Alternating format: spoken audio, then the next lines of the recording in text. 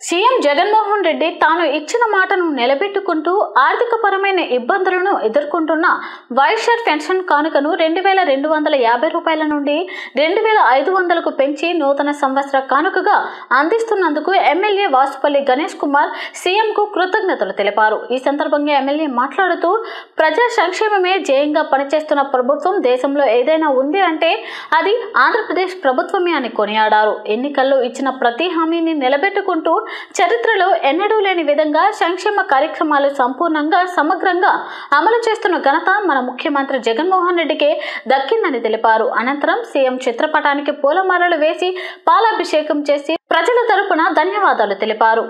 పరిపాలన అందిస్తా ఉన్నారు ఈరోజు.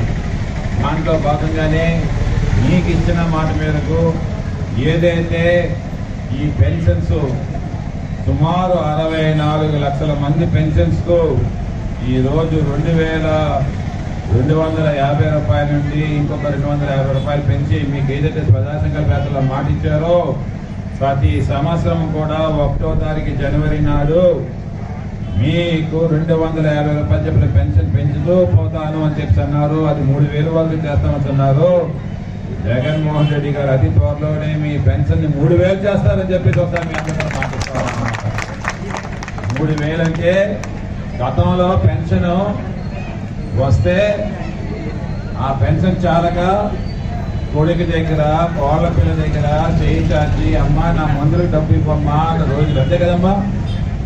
అంటే మీరు చేయి చాచే రోజు నుండి ఈరోజు మీ కోళ్ళ పిల్ల చేయి చేస్తుంది అత్తమ్మా నాకు కొంచెం డబ్బులు సహాయం చెయ్యి అని చెప్పేసి. చేస్తుందా లేదా?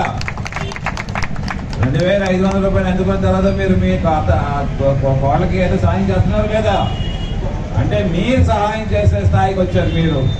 మీరు ఇచ్చే స్థాయికి తీసుకుని వచ్చారు. అది ఎవరు తీసుకొని వచ్చారు? జగన్మోహన్ రెడ్డి గారు తీసుకొని వచ్చారు. అంటే పుచ్చుకునే స్థాయి నుండి ఇచ్చే స్థాయికి తీసుకుని వచ్చినటువంటి నాయకుడికి మరి మీ రుణం తీర్చుకుంటారా లేదా? ఒకసారి మీ అందరూ చెప్పాలి ఒకసారి.